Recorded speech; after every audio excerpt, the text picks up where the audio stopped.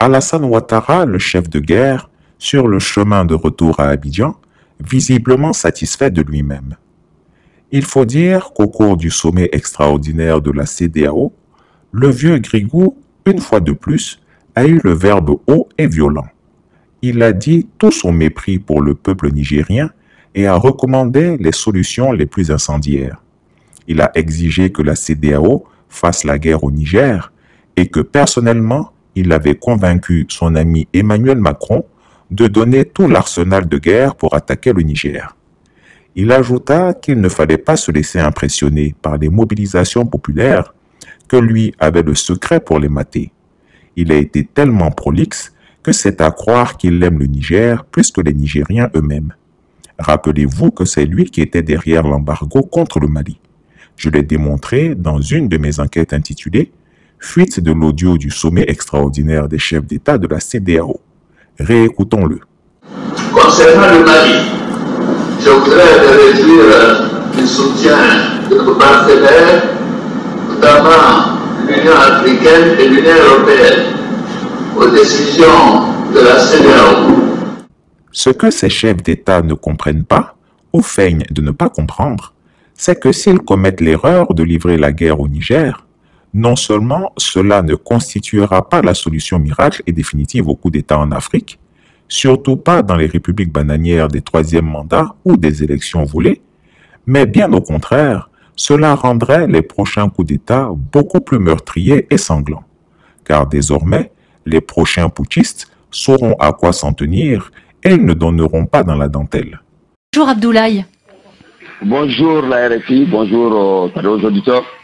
Quel est votre sentiment, vous, ce matin? Bon, moi, ce matin, j'aimerais d'abord amener un, euh, un rectificatif d'abord.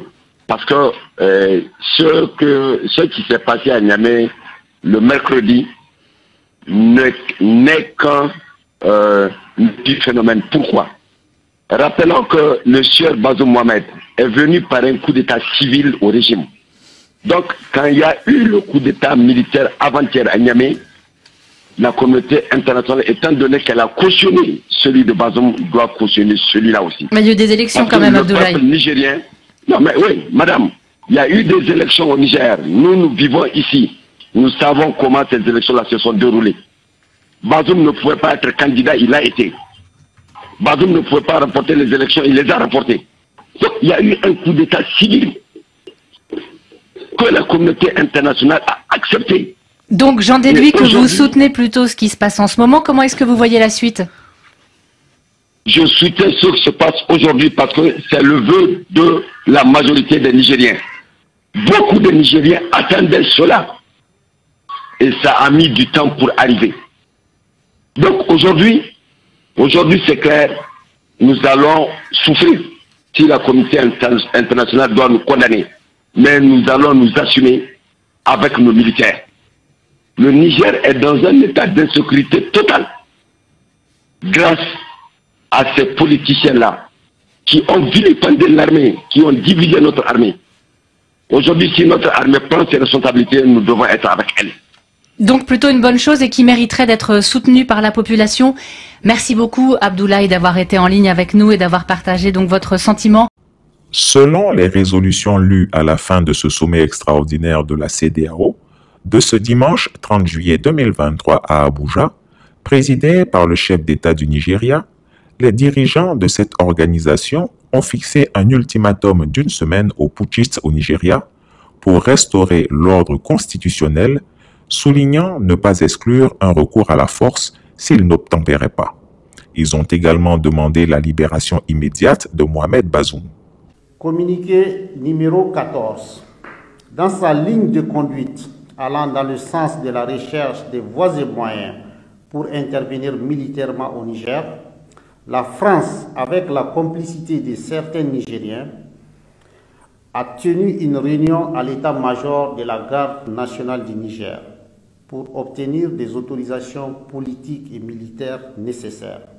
C'est ainsi que le sieur Hassoumi Massaoudou, agissant en tant que Premier ministre, signe le document que voici la teneur. J'ai sous-signé Hassoumi Massaoudou, ministre des Affaires étrangères, et de la coopération, Premier ministre par intérim, autorise le partenaire français à effectuer des frappes au sein du palais présidentiel afin de libérer le président de la République du Niger, Mohamed Bazoum, pris en otage. En foi de quoi la présente demande est délivrée pour servir et valoir ce qui est de droit. Signé Premier ministre par intérim. Et aussi le colonel-major Guiré, commandant de la garde nationale du Niger, signe au nom du chef d'état-major des armées le document que voici la teneur. J'ai sous-signé colonel-major Guiré, haut commandant de la garde nationale du Niger, autorise le partenaire français à effectuer des frappes au sein du palais présidentiel afin de libérer le président de la République du Niger, Mohamed Bazoum, pris en otage. En foi de quoi la présente demande est délivrée pour servir et valoir ce qui est de droit. Signé le colonel-major Midou Guiré, haut commandant de la garde nationale du Niger. Aussi paradoxal que cela puisse paraître, les actuels valets de la CDAO sont en train de mettre leur propre vie en danger, en commençant par celle de Bazoum, qu'ils sont supposés aimer. Retenu en otage, je ne suis pas sûr qu'il serait d'avis que la CDAO fasse la guerre à son pays ou que des centaines de milliers de Nigériens meurent à cause de lui. Qui viendrait-il diriger alors? Des cimetières? Qui vivra verra. Le débat reste entier et irrésolu. Quel est le vrai remède au coup d'État? La CDAO n'a pas le droit de brûler le Niger. Le Niger a plus que besoin du soutien de toute l'Afrique et notamment du Mali, du Burkina Faso et de la Guinée. Il faut que ces quatre pays agissent solidairement, à bas les aventuriers sanguinaires de la CDAO. Et même aux agissements et actions de certains instruments africains, notamment la CDAO, la BCAO, liés-moi au service de l'ennemi, notamment la France, personne ne mourra de faim, Inch'Allah, bi'iznillah. 8. Malgré tout, faites agir en dehors du cadre officiel les Africains, car les liens de sang, la fraternité et la solidarité africaine agiront sûrement et certainement. 9. Aucune indulgence vis-à-vis des provocations des forces étrangères françaises, de leurs coopérants, les diplomates et de leurs médias.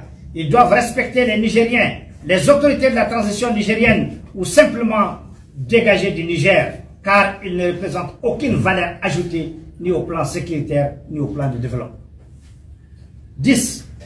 Préserver la sécurité de l'ancien président et ses compagnons, mais faire agir la justice et engager une lutte implacable contre la corruption et le détournement des deniers publics. 11 engager et mutualiser les efforts avec le Burkina, le Mali, la Guinée, la Mauritanie, même l'Algérie, dans la lutte contre le terrorisme et le banditisme transfrontalier. 12. Préparer la 8e République souveraine, indépendante et dont le socle et les fondements reposeront sur les valeurs sociétales nigériennes. Monsieur le Président du CNSP, Récemment, votre frère d'armes et compatriote, le général Salifou Modi, était dans notre pays pour une visite de travail. Une visite qui lui a valu d'être limogé par le préfet français Bazou.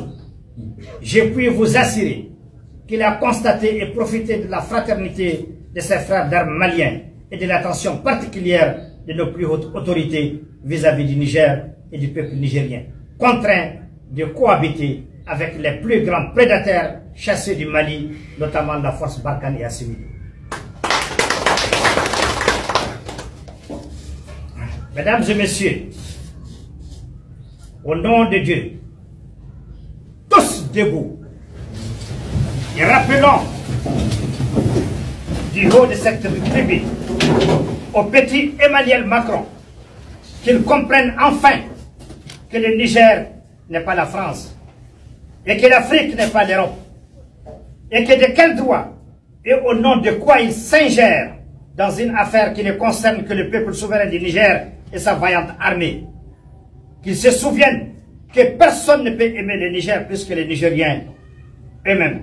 Monsieur Macron, offisqué ou paniqué, convoque un conseil de défense. Mais nom de Dieu, Macron, comprenez aussi que l'armée française n'est pas l'armée nigérienne. Et dégagez du Niger et du Sahel, car vous ne faites pas partie du problème, mais vous êtes le problème lui-même. Je vous en prie.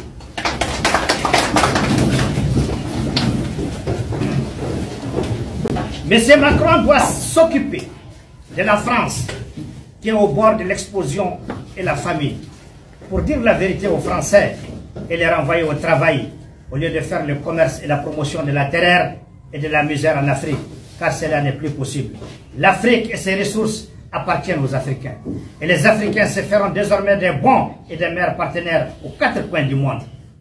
En Afrique, nous disons quand tu as la France à tes côtés, ne cherche pas un ennemi ailleurs. Et que même la solitude est un meilleur ami que la France. C'est pourquoi le Niger ira aussi loin que possible pour se faire de vrais amis et de vrais partenaires, car le Niger est un État souverain.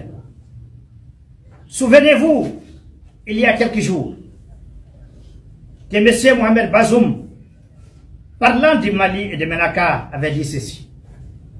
Menaka tombera, je le cite, Menaka tombera entre les mains de Daesh. Et je crois qu'il est tombé avant Menaka.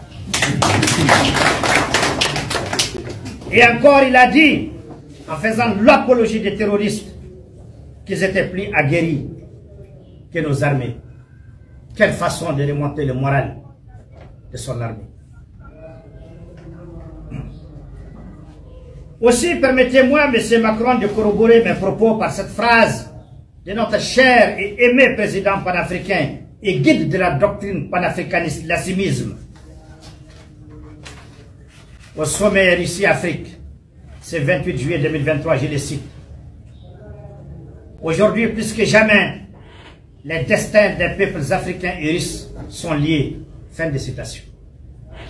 Pour vous dire que l'Afrique doit choisir ses partenaires.